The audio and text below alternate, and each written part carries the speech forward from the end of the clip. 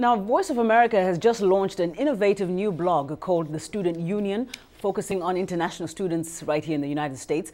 The blog is being written by approximately 15 students from around the world, sharing their experiences and talking about their journey to the U.S.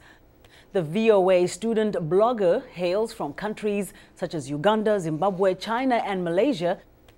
To enjoy this dynamic new offering from VOA, log on to blogs.voanews.com slash student dash union.